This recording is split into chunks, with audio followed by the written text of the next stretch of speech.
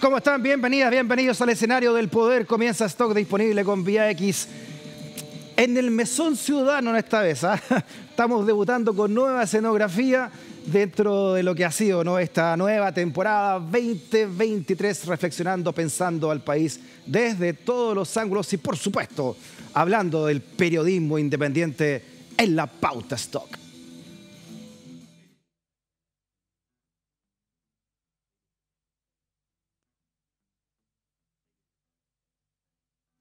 Alguien hizo algo malo, malo, malo. Nicolás Sepúlveda de Ciper Chile. ¿Cómo está, Nico? Bienvenido. ¿eh? ¿Qué tal, Freddy? Gracias por la invitación. Con usted debutamos en esta nueva escenografía de Pauta Stock. ¿ah? Buena cosa. está bien, ¿ah? La primera vez. Oye, Nico, traen un sorprendente, sorprendente eh, seguidilla ya de, mm. de, reportaje sobre los negocios de la familia Pinochet con nada menos que con el narcotráfico. Mm. Eh, veamos el titular veamos. y lo desmenuzamos en Pauta Stock. Tiene que ver con esto con los documentos que muestran los nexos de los hijos de Pinochet con narcotraficantes, ¿ah? dice esta nota de Pauta Stock. Dice que al final ¿no? de la dictadura, Marco Antonio Pinochet hizo negocios con Focus Chile y tanto él como su hermano Augusto aparecen en la contabilidad de esa empresa. Documentos judiciales y registros oficiales de Colombia, Canadá, Estados Unidos, Panamá y España demuestran que esa compañía era controlada por narcos colombianos por el principal traficante de drogas de Canadá y por un representante de Mohamed Khashoggi, el hijo del mayor traficante de armas de esos años, el abogado Ambrosio Rodríguez, asesor de Augusto Pinochet y Lucía Iriart, fue nombrado árbitro por los socios de Focus cuando ya estaban en la mira de la justicia de varios países. Y la malla societaria, ojo acá, de negocio no, iniciada en Panamá con acciones del portador, fue constituida por don Héctor Novoa Vázquez, hermano del subsecretario de Gobierno de Pinochet, Jovino Novoa, y prominente también miembro de la UDI, ¿no? Jovino Novoa. Vaya, vaya, ¿eh? vaya, vaya, Nico. ¿Qué ramillete? ¿Qué ramillete? Primero, ¿cómo se llega a esta información? ¿Cuánto tiempo en este...? Mm. Y antes de entrar a menuzarla, ¿no? Es una investigación que eh, eh, llevamos más de cinco meses desarrollando. Todavía incluso hay algunos flecos que seguimos tratando de chequear. Publicamos tres reportajes, el que vimos recién es el primero, el que introduce eh, esta trama. Lo que hicimos fue mirar cuál es la relación de la familia Pinochet con el narcotráfico y también de altos personajes del régimen. Ambrosio Rodríguez, por ejemplo, fue nombrado procurador de la República, fue un cargo inventado por Pinochet y luego se transforma en asesor muy, muy de confianza de Augusto Pinochet Huerte. Eh, Además, déjame decirte, como hincha la U, cuestionado dirigente de la Universidad de Chile, junto a Rolando Molina, de las épocas más negras de, la Universidad de Chile, con pérdida increíble también de patrimonio del, club deportivo.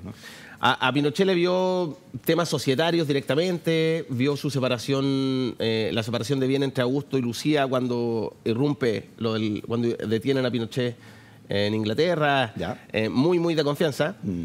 Y él está involucrado en, dos tramas al menos, ¿no? La primera, esta que veíamos recién.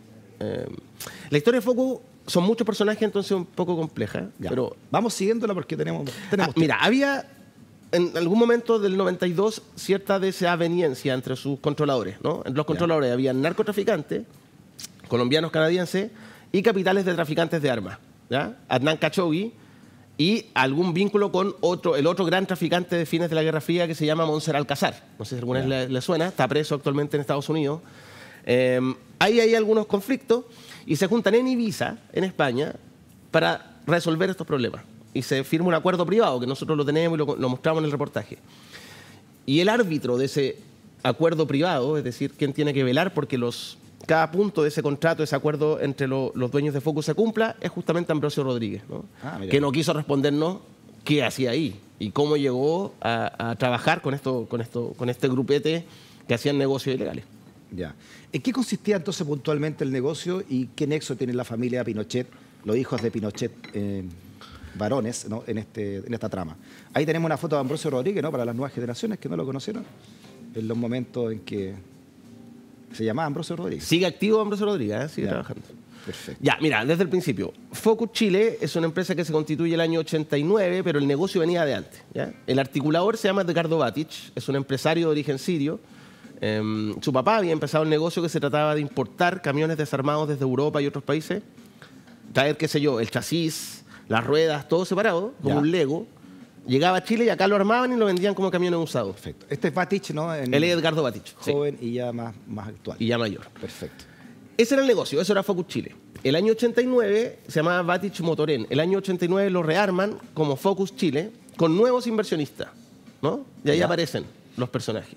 Perfecto. Por un lado, su- al principio se supone que era Jacob Neder, Alex Jacob Neder, hijo de un general de la FACH, que había sido eh, director de sanidad de la FACH durante la dictadura, Elías Jacob Elo. Y por otro lado, Batich, ¿ya? Con el tiempo nos vamos enterando que ninguno de ellos en realidad eran los inversionistas los que ponían la plata, sino que eran representantes. Jacob eh, Neder, Alex Jacob, representaba una familia colombiana, los Ochoa Galvis, ¿ya? Ya. cuyo líder era Jesús Ochoa Galvis, que aparece públicamente ya el 90-91, compra muchas mansiones, nosotros hicimos un, un seguimiento, más de 30 propiedades, Aquí en Chile. acá en Chile, pero a través, no con su nombre, sino que a través de sociedades panameñas, ¿ya? Panamá considerado un paraíso fiscal. Y Batich tampoco se supone que representaba plata de él, sino que él dice en sede judicial, en declaraciones en tribunales, que los dineros eh, los ponía un grupo de inversionistas árabes. Y él solo identifica a uno, Mohamed Khashoggi. ¿No? Tú lo nombrabas en la introducción del reportaje, hijo de Adnan Khashoggi, el mayor traficante de armas de fines de la Guerra Fría, Ya. presente en el escándalo de los Irán contra en Estados Unidos, en la guerra de Irak contra Irán, experto en vender armas a países que estaban con vetos de Naciones Unidas, etcétera, etcétera, etcétera. En los 80 llegó a ser considerado el hombre más millonario del mundo. Ya. O O sea, hay hay, una, muy hay- importante en el, en el ajedrez mundial, ¿no? hay una rama de armas y una rama entonces De droga. De drogas. Exacto. Ya. ¿Y cómo entrarían entonces acá los... ¿Cuándo empiezan a entrar los Pinochet acá? ¿Cuándo se empieza a conocer el apellido Desde Pinochet? antes, del- durante la dictadura, digamos, antes del 90, se sabía que Marco Antonio Pinochet y Edgardo Batich eran muy, muy, muy amigos. Marco Antonio, el, el hijo menor. El hijo menor de Pinochet. ¿ya? Ya. Que había estado en Estados Unidos durante algún tiempo. Cuando vuelve a Chile, muy amigo de Batich, salían juntos a las típicas discotecas donde iba la gente del régimen, ¿no? Discotec Gente, La Live, qué sé yo. Ya. Eh, y además, en paralelo, este grupo de dueños de Focus estaban construyendo unas casonas impresionantes en Rapel, que siguen ahí. Nosotros las visitamos en el reportaje, hay algunas fotos y videos de esas casas. Ya. Son muy estilo Miami Vice, ¿no? Y a esas casas iba mucho Marco Antonio con Batich. En la prensa de la época se comentaba que era un negocio en conjunto, ¿no? Y se decía que eran socios. Ya. Ellos lo descartan. ¿ya? Estamos hablando de qué, de qué años acá de la dictadura. Fines de los 80, fines de los 80. Perfecto. ¿no? Ya. 87, 88. Además, en Focus Chile, la empresa de Batich, o articulada por Batich, se vendían unas lanchas que importaba a Chile Marco Antonio Pinochet, que eran las lanchas Chaparral.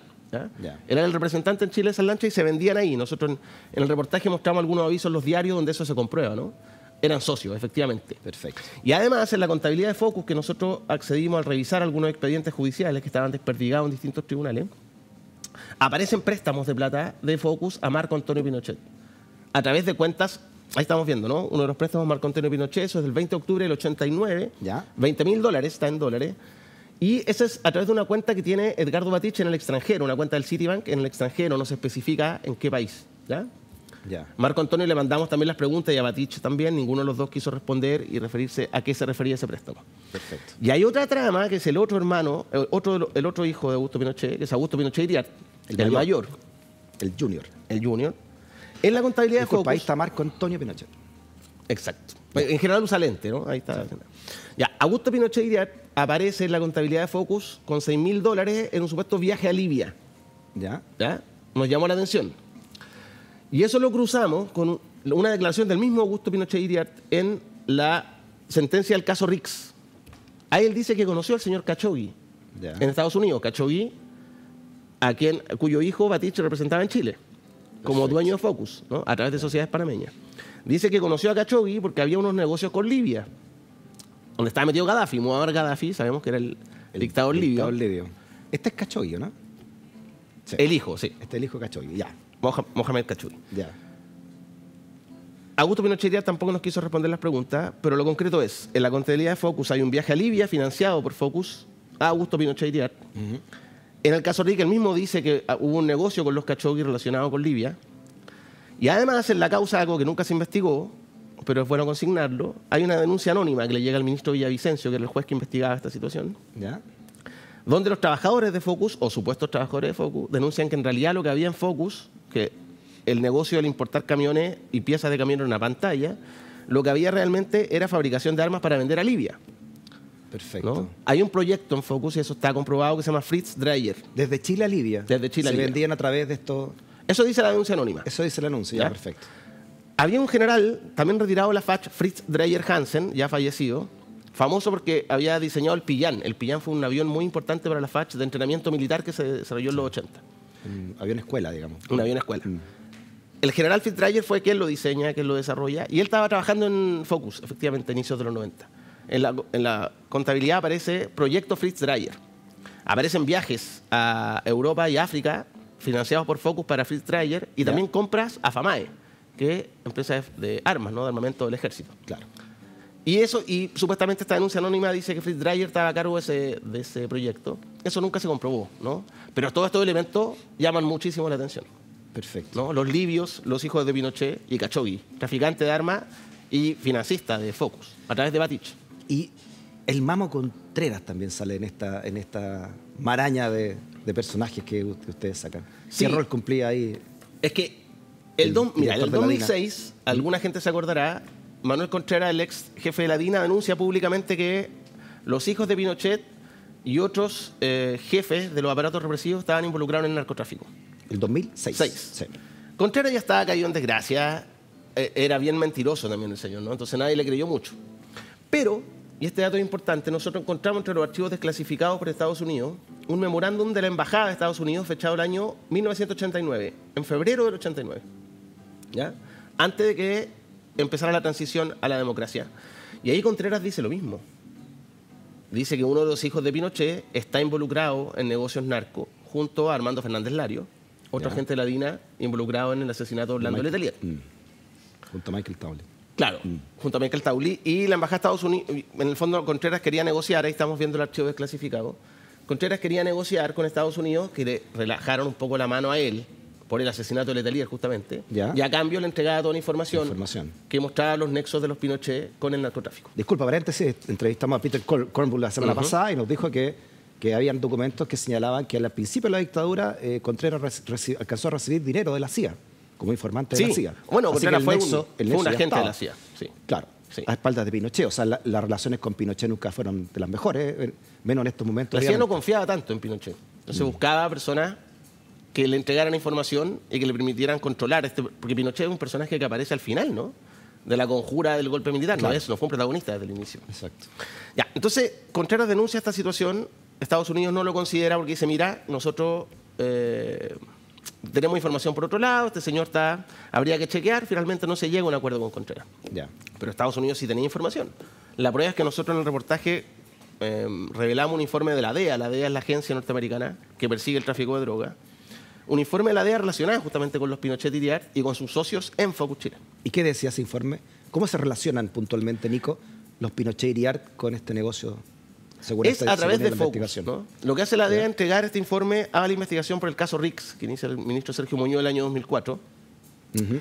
Eh, porque el ministro Muñoz estaba investigando el origen de la fortuna de los Pinochet. Para quienes no saben, los Pinochet tenían a través de decenas de cuentas corrientes en el mundo, usando nombres falsos y sociedades en paraísos Ya. fiscales. Déjame leerte esto. Sí, dale. Pues dice que eh, la, la idea, esto está todo parte del reportaje que- del, del cual estaba hablando Nicolás, Nicolás en, en Ciber Chile. ¿no? La información eh, que se les está proporcionando es de naturaleza histórica y la mayoría de esta información se origina en las fechas del 1970 a 1980. Nada ha sido hecho para verificar esta información. De los 53 nombres proporcionados, información ha sido certificada con referencia a los siguientes individuos. Uno, Augusto José Ramón Pinochet Ugarte. En el 75 se señala que Pinochet autorizó el contrabando de cocaína a Paul Provence en los Estados Unidos. ¿Qué consiste este- esta información? No está citando, eso es textual del informe de la DEA, ¿no? un informe de 15 páginas. En, alguna, en, en una cápita del informe se- hay- estamos viendo se entrega una lista de, de- de personas por las que había preguntado el ministro Muñoz y la DEA entrega la información que tiene sobre esas personas. Perfecto. Sobre Pinochet dice eso, que habría autorizado un contrabando de cocaína, no, no entrega más información. Ya. Y luego, de hecho, veíamos la imagen, aparece Edgardo Batich, el articulador de Focus Chile. Aparece también Jesús Ochoa Galvi, el representante de la familia colombiana que está en Focus Chile. Aparece Barandica, que es otro personaje que había denunciado esta situación a inicios de los 90. Entonces teníamos alarmas por distintas partes de que habían negocios turbios. Nosotros pudimos comprobar que tras Focus Chile efectivamente había narcotraficantes y traficantes de armas. Perfecto. Había otro traficante muy importante. ¿Estos Ahí, mira, estamos viendo, ahí está Jesús Ochoa Galvi, es quien ustedes ven de chaqueta gris. ¿Ya? Él era el, el- el- el Jesús Ochoa, el líder de la familia colombiana que invertía en Focus a Ya. través de los Jacob, socio de Batich. Um, y socio también después de un, de un personaje que aparece que se llama Firmino Tavares, que es un narcotraficante colombiano. Ya.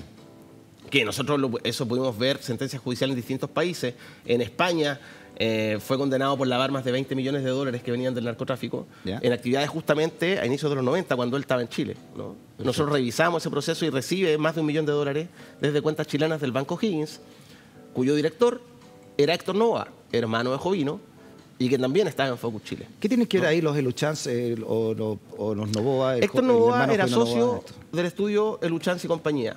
Edmundo Luchanz, ex diputado, presidente de la Cámara de Diputados, actual consejero constituyente de la UDI. ¿Ya?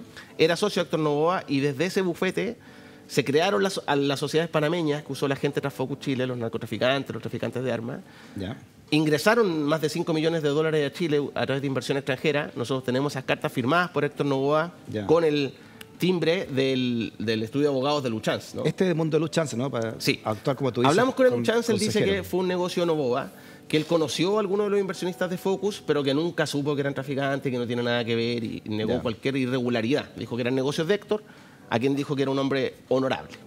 Héctor Novoa. Hermano de Jovino Novoa. Exacto. Bueno, toda esta gente yo les hablaba de algunas casas en el lago Rapel que nosotros fuimos a ver. Es bien, es bien llamativo, son más de seis mansiones que se compraron ahí. En una de esas casas, la de Batich, que nosotros en el reportaje tenemos un video, que son cinco sitios juntos, una mansión impresionante con una isla, tienen cientos de palmeras que tapan un poco la vista. Ahí estamos viendo, ¿no? Mira, ese es el, Ah, ese es el terreno. Ya. Son- estamos lejos porque para que se pueda ver bien. Lo que se ve blanco es una de las mansiones, son tres casas que están adentro. Ya. Lo que vemos más cerca es un islote, es como una, una punta que sale al lago Rapel y crean una isla donde hay un helipuerto. Hay una inmensa antena como la que usan los canales de televisión, Ya. no sabemos con qué fin. Y justamente en ese terreno que estamos viendo ahí es donde los ex trabajadores, nosotros entrevistamos a varios de ellos, uno, ex alcalde de Litueche, Bernardo Corde- eh, Cornejo de la ADC, trabajaba para Batich. Y él dice que los trabajadores venían llegar en helicóptero a Marco Antonio Pinochet junto a Batich, que mencionaban que eran los dueños, que era una sociedad, ¿Ya? y que incluso a él, a Bernardo Corde- Cornejo, lo echan el año 88. Batich personalmente le dice, mira, tú eres del no, acá viene Marco Antonio, esto es un problema. El no y el sí en el plebiscito para plebiscito del del 88. 88. Ya. Y ahí se queda sin trabajo. ¿no? Frente a esa, a esa, a esa mansión está otro terreno del Jesús Ochoa Galvis, Ya. eh, que tenía otras propiedades también. Todo a través de sociedades panameñas. ¿no? Perfecto. ¿Cómo, cómo, ¿Cómo se va desentrañando por la justicia no entonces esta red eh, de Batich y este, y este red de narcotráfico? ¿Cómo, Nunca se investigó la red narco. Ya. Queda la escoba a fines del 92. Esa, esa era la casa que tenía Jesús Ochoa Galvi, una de las Ya. cinco, ¿no? en Lago Rapel, frente a la de Batich.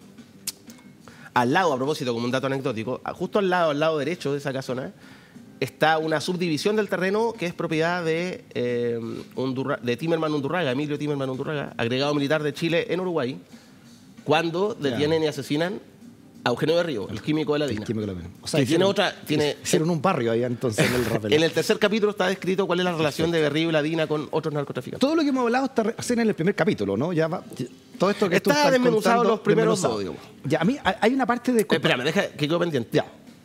En el fin del 92 queda la escoba porque Impuesto Interno descubre irregularidades en Focus. ¿ya? Alex Jacob, que decía el hijo del general de la FACH, soborna a un inspector de Impuestos Internos con 20 millones. Le dice, usted vio irregularidades, que ese calladito, 20 millones, ok. Pero el señor de Impuestos Internos, Moscoso, se da cuenta que las irregularidades son demasiadas Ya. y cobra 200 millones. Y Jacob ante eso, y esto Dijo, fue su peor está error. barata, dijo, está barata la cosa para 20 millones, dijo, Claro, cobro 200. Esto es mucha plata, 200 millones. Y ya. ante eso Jacob comete el mayor error de su vida. Va a denunciar al señor Moscoso a la PDI y a impuesto interno. Dice, este señor me está pidiendo plata. Pero usted ya le pagó. Sí, pero me está pidiendo más plata. Quedó la escoba. Allanan Focus y se inicia una investigación por delitos tributarios. Ya. Y cuando allanan Focus, nosotros tenemos alguna foto y lo contamos en el reportaje, lo que encuentran adentro lo- los detectives, eso estamos viendo, esa es una, una, una UCI con mirada infrarroja, hay pistolas, municiones, Chaleco antibalas, casco antibalas, retratos de Augusto Pinochet con dedicatorias especiales como con autógrafo. Ahí Ese. estamos viéndolo, sí. Está dedicado a Alex Yakov, el hijo del general de la FACH. Otros retratos de Rodolfo Estange, que era el general director de Carabineros. Ahí vemos algunas escopetas, los chalecos Y antibalas. todo esto estaba en- ahí en la oficina de fuego, como tú dices, que está ahí En en, la de Panamericana. gerencia de en. Panamericana. Sí, Américo Vespucio 01313. Con Panamericana, claro. Ahí está la foto de Stanley, ¿no? Ya. Ahí está la foto de Stange, todo eso se encuentran en la gerencia de Focus. Eh, ellos allanan, después Impuestos Internos se va y deja Carabineros, deja todo sellado, ¿no? La caja fuerte, la oficina, no puede entrar nadie, queda Carabineros resguardando el lugar. Ya. Vuelven a los pocos días y cuando vuelven, estaban todos los sellos violados, había entrado alguien, no había funcionado el resguardo de Carabineros y todavía en el patio habían eh, tarros con documentación que había sido quemada. Y en paralelo, ese Espérate, mismo ¿y eso día- tenía de carabineros? ¿Tenía que custodiar eso por bueno, ley? sí, había un oficial de carabineros que era muy cercano a estos inversionistas de Focus, Marcelo. Vargas Goa. Y curiosamente alguien entró en, la no- en esos días que habían feriado Y- entre sí, medio Y quemaron todo. y quemaron todo. ¿no? Ya, y en paralelo, mientras Impuestos Internos volvía y se encontraba con todo esto, las armas, los documentos quemados, etcétera, los dueños de Focus huían en estampida de Chile. ¿no? Edgardo Batic se va junto a Firmino Tavares, que era el narco canadiense, y yo te decía, condenado en España, ¿Ya? y después condenado también en Canadá, era un narco muy importante en Canadá, huyen juntos en el mismo vuelo de United Airlines a Argentina y dos días después se va Jesús Ochoa Galvi y su familia y nunca vuelven. Se pierden. ¿no? Oye, también se vendieron químicos eh, a través de, de- de- de un organismo militar Ya, también, es ¿no? que es mucha información. Esta información, es decir, la vinculación de los Pinochet con el narcotráfico, no solo la advirtió Manuel Contreras a. Estados Unidos en el 89. En esa misma época en Chile estaba operando un narcotraficante estadounidense que se llamaba Franklin Baramdica. Ah, este otro. Es otro. Ya. Es por el lado. Espérate, espérate, espérate, antes de pasar a... Por último, dejémosla para la próxima semana, que está... Ya, está- es que lo hagamos la saga. Ya. Espérate, este, ¿cómo funcionaba entonces el, el negocio con los motores? ¿Cómo funcionaba desde Chile eso? Para entenderlo bien, la mecánica del funcionamiento. Importaban piezas de camiones y motores ¿Ya?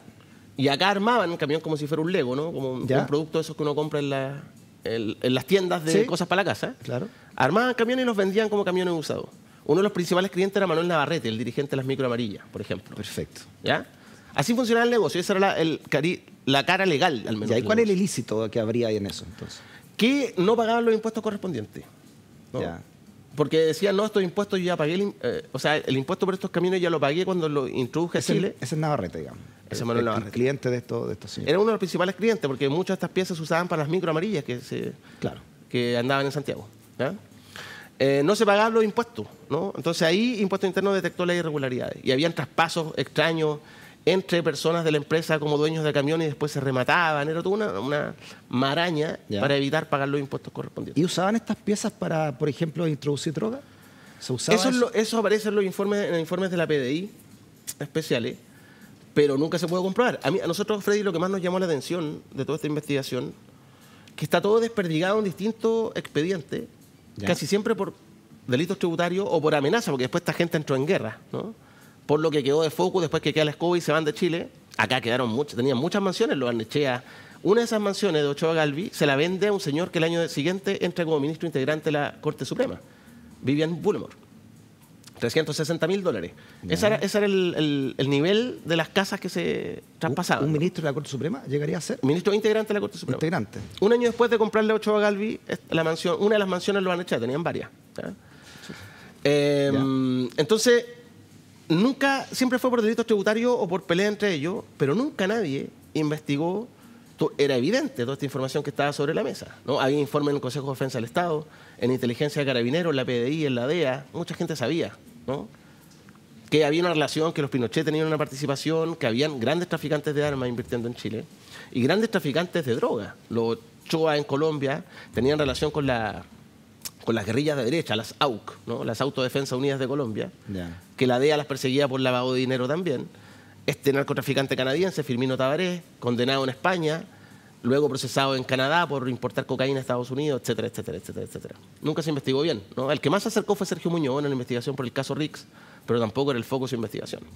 Pero estaba todo sobre la mesa, ¿no? Es un, un- es un gran hecho histórico que la justicia nunca ha querido indagar. Nunca se entró en eso. No, nunca se centró en eso. Ya, eh, Barandica me estás hablando. ¿Quién, Sí. ¿Quién es Barandica?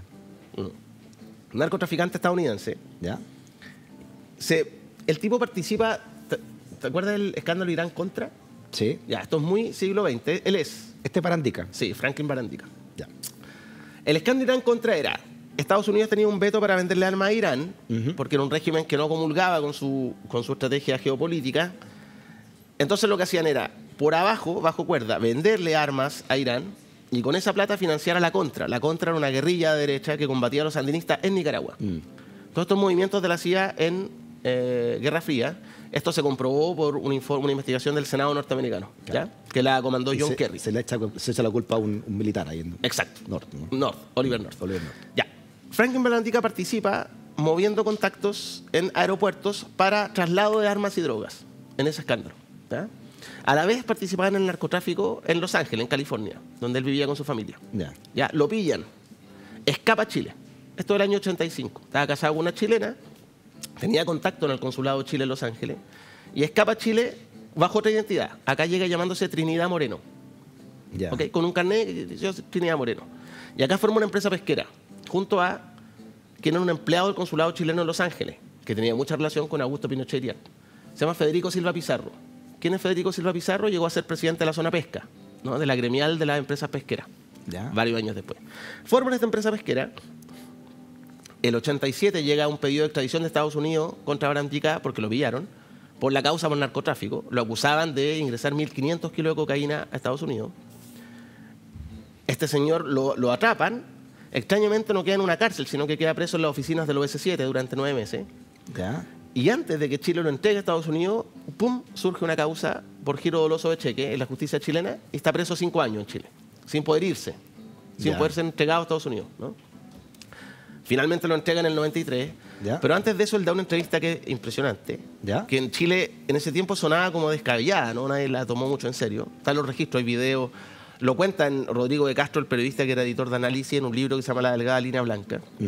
Y en esa entrevista Barandica dice que en Chile él efectivamente trabajaba en la pesquera, pero que... Escuchemos esa entrevista. ¿La tenemos? ¿La escuchemos? ¿Tenemos? Sí, es, la- Sí. es una parte. Y ahí la profundiza. Ahí está. ¿Algún familiar de Augusto Pinochet estaría metido o involucrado en alguna de estas operaciones? Bueno, más tarde, más tarde aprendí de que ah, Batish Motors pasó a ser eh, Chilena Motors y de que en realidad los socios de eso eran Edgardo Batish y el hijo mayor del general Pinochet. Si Edgardo Batish está involucrado en el negocio del narcotráfico, como me consta, y con los grandes socios que tiene, es totalmente imposible decir que la otra persona no tenía conocimiento. ¿Algún familiar de Augusto Pinochet estaría metido Ya, aquí, aquí hace una relación de, de, de Batich directamente con narcotráfico. Sí. Este, este caballero. Él, él dice, eh, eh, es impresionante esa entrevista, él dice que cuando llega a Chile lo contactan desde la CNI y le piden reuniones. Ya.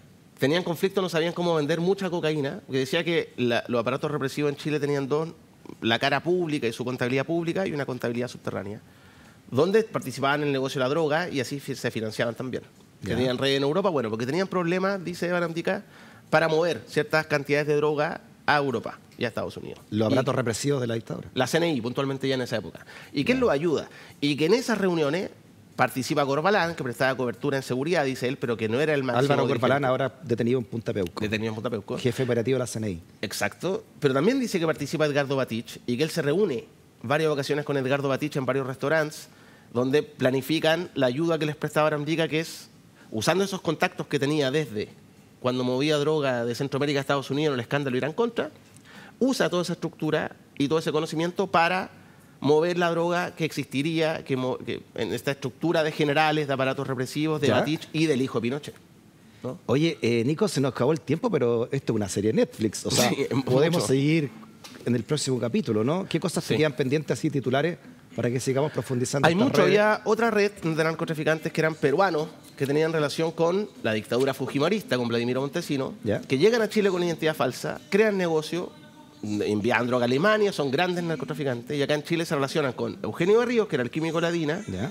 y también con Ambrosio Rodríguez, que, era tam- que también aparece en esta trama narco. O sea, mucha gente ligada entonces eh, directamente a la dictadura, ni hablar de los hijos del, del- del dictador, ¿no? Que Sí. según esta información que ustedes entregan, estarían Estén- relacionados con estos. Estarían ligados con el negocio a través de Focus sí o sí, y además están todos estos otros esta otra información indiciaria que dice que también participaban en estructuras Perfecto. de narcotráfico. Hay mucho más, digamos. Pero solo quiero decir, Freddy, que está todo respaldado en documentos, porque mucha gente ha Sí. dicho que Pinochet era narcotraficante como rumores, pero nosotros lo logramos respaldar y probar. Yo creo que eso es importante. Perfecto.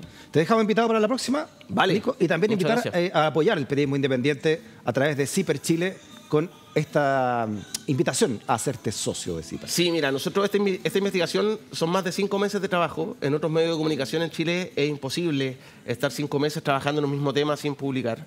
Y eso solo logramos gracias al aporte de nuestros socios en ciperchile.cl. Eh, ciperchile.cl pueden hacerse socios Perfecto. y aportar a que sigamos haciendo periodismo independiente y eh, riguroso como intentamos hacerlo. Desde tres luquitas y media, menos la mitad de un chop. Desde tres lucas mensual, sí. Ya, hasta lo que puedan. Hacemos una pausa ah, y usted no sabe lo que está viendo, nosotros tampoco. Volvemos con Rodrigo Álvarez y el poder también que hay en la cultura.